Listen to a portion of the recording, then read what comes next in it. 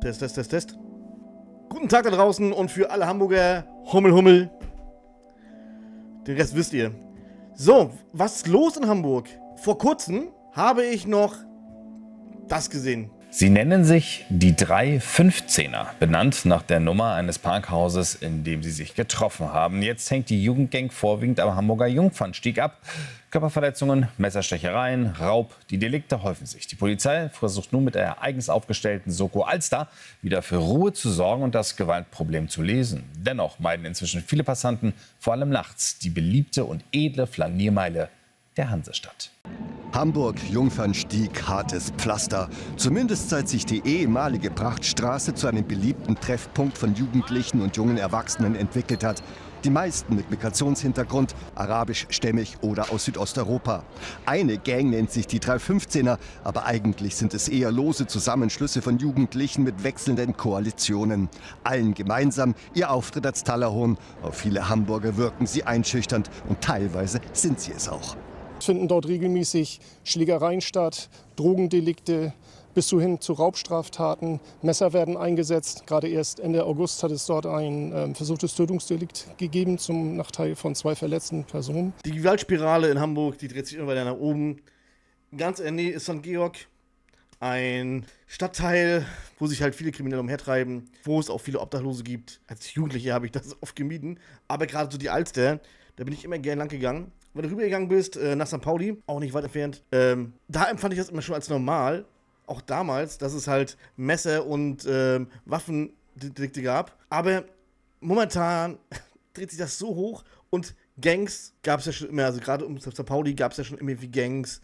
Und ich denke mal, viele werden sich daran er erinnern, an ähm, die ganzen Zuhälter, die es da gab und welche Banden es da gab. Momentan habe ich das Gefühl, dass da immer mehr passiert vor kurzem noch das hier, 21.10. So, und damit schauen wir in die Hansestadt Hamburg, denn dort ist es schon wieder eine, zu einer Schießerei gekommen und dabei ist auch ein Mensch ums Leben gekommen. Den aktuellen Anlass, den soll eine Auseinandersetzung in einem Mehrfamilienhaus gegeben haben. Die Mordkommission der Polizei arbeitet auf Hochtouren. Spuren werden gesichert, um den Tod eines Mannes zumindest ansatzweise klären zu können.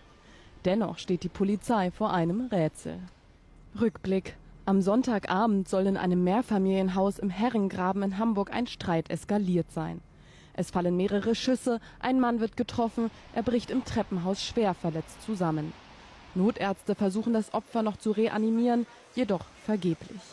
Währenddessen kann der Täter offenbar fliehen. Die Polizei löst umgehend eine Großfahndung aus. Spezialkräfte der Bundespolizei und Spürhunde sind im Einsatz, um den Täter zu finden. Die Angehörigen des Opfers erhielten nach dem Vorfall psychologische Unterstützung. Die genauen Hintergründe des Streits sind bislang noch nicht bekannt. Hamburg wird für mich gerade immer mehr wie Berlin. Und Berlin und Hamburg werden immer mehr wie der wilde Westen, wie Amerika, habe ich das Gefühl. Und Hamburg ist meine zweite Heimat. Und da muss ich immer sagen, es ist zum Kotzen, wenn ich andauernd sowas aus Hamburg höre. Man muss nur eingeben, Hamburger Schießerei. Ne? Wieder mal Schießerei innerhalb von wenigen Tagen. Schon wieder in Hamburg. Mann 23 angeschossen von Sascha Wimmer. Hamburg. Wenige Stunden nach einer tödlichen Schießerei im Hamburger Stadtteil Billstedt peitschten erneut Schüsse durch die Hansestadt. Diesmal im nahegelegenen Stadtteil Rahlstedt.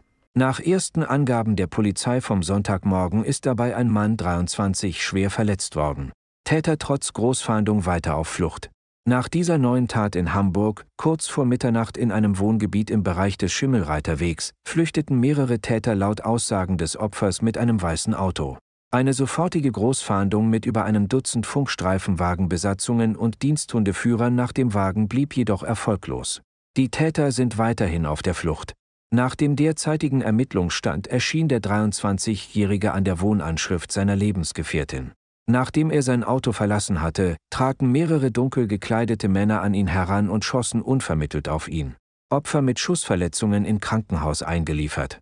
Das Opfer wurde schwer verletzt mit Schusswunden per Rettungswagen in ein Krankenhaus eingeliefert, schwebt laut Polizei aber nicht in Lebensgefahr. Genauere Angaben zu den Schussverletzungen sowie zu der Motivlage konnte die Polizei am Morgen nicht machen.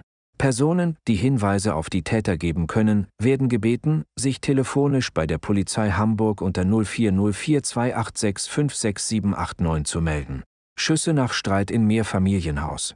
Wenige Stunden zuvor wurden bei einer Schießerei am Samstagnachmittag ein Mann 34 in Hamburg-Billstedt getötet und ein weiterer schwer verletzt. Dort soll es gegen 16.30 Uhr in einem Mehrfamilienhaus in der Straße Hauskoppel zu einem Streit zwischen mindestens drei Männern gekommen sein.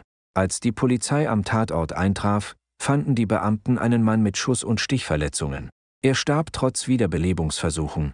Ein zweites Opfer, 30, hatte ebenfalls Schuss- und Stichverletzungen und musste in einer Klinik notoperiert werden.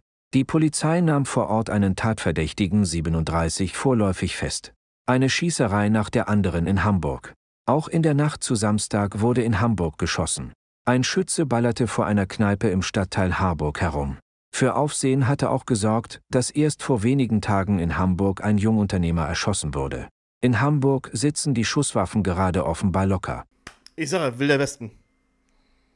Man darf nicht vergessen, wie schon gesagt, gerade auf dem Kiez war es oft so gewesen, ob es die Angels waren, ob es damals die Zuhälter waren. Es gab schon immer viel Kriminalität und ich weiß noch damals, ah, da bin ich gerade aus Harburg rübergefahren. Habe ich das in der Zeitung gelesen? Irgendwo war ich am Bahnhof? Ich weiß es gar nicht mehr genau.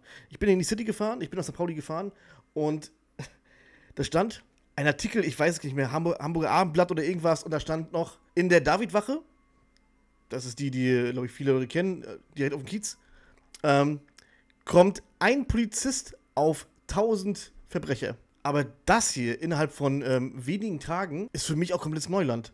Und wir verlieren immer mehr die Kontrolle über unsere Gesellschaft und immer mehr die Kontrolle über unser Land. Und die Politik, ich, ich kriege nicht mit, dass die irgendwie einschreitet. Nein, wer auch immer das war, es wird auf einmal ein ganz anderes Leben in Deutschland und es, mein Gefühl ist, es wird immer unsicherer. Liebe Hamburger, schreibt mal bitte rein, es würde mich interessieren, wie seht ihr das? Als Kind habe ich kein Problem gehabt, damals als Jugendlicher, ähm, durch die U-Bahnhöfe durchzugehen.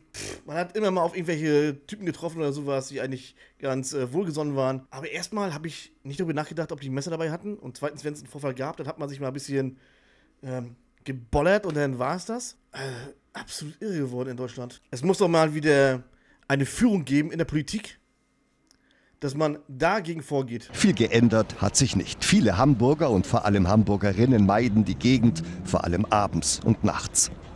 Für mich ist es auf jeden Fall manchmal sehr komisch in der Nacht alleine hier in Hamburg rumzugehen. Ich bin auch sehr, sehr vorsichtig. Wenn man sich das so anschaut, ist es eigentlich ein total schöner Standort, ähm, den man ja eigentlich auch genießen könnte. Aber wenn man 100 Prozent auch abends da lang gehen, zum großen Wall oder sowas. Ähm, da allgemein so durchgehen zum Rathaus. Ist alles super schön. Ähm, ich weiß gar nicht mehr. Es gab auch immer als der Festtage. Ich glaube, ich ging zwei Wochen, eine Woche, ich weiß nicht mehr. Ähm, war immer super gewesen, mit meinem Vater rüber zu gehen. Also ich fand es auch immer, selbst als, als junger Mensch, immer schon sehr schön da. sich das halt abends anschaut, dann geht man doch lieber woanders hin. Das ist mehr Jugendbanden oder nicht nur Jugendbande, junge Männer äh, mittleren Alters, äh, alles. Also seit 2011 bin ich hier und seitdem hat sich das massiv verschlechtert. Die meisten Aggressionen spielen sich innerhalb der Straßengangs ab. Auch die Polizei zeigt deutlich mehr Präsenz.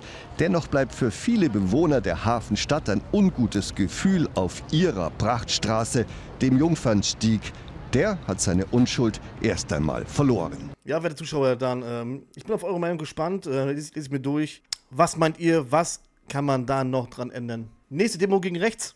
Ja, schreibt eure Meinung rein. Bis dahin, ich danke fürs Zuschauen und falls ihr noch nicht getan habt, lasst gerne ein Abo bei mir, liken. Und wenn ihr mich unterstützen wollt, seht ihr hier oben in der Ecke PayPal, könnt ihr mit dem Handy anklicken, also hier mit dem QR-Code. Oder ihr geht in die Beschreibung rein, da steht mein Punktkonto drin. Ich danke für jede Unterstützung und damit macht es erstmal gut.